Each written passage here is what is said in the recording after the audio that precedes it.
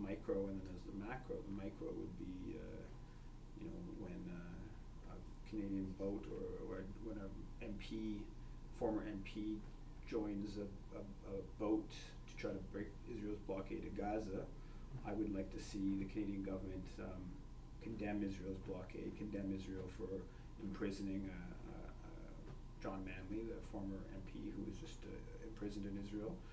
That would be a micro thing I would like to see happen tomorrow or next day. And more macro level, I think Canada should pull out of NATO.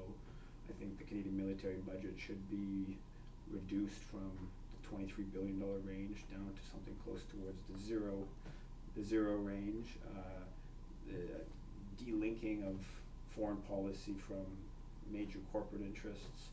Uh, you know, the list is the list is on goes on yeah, there's a combination of short-term and uh, maybe longer-term goals And, uh,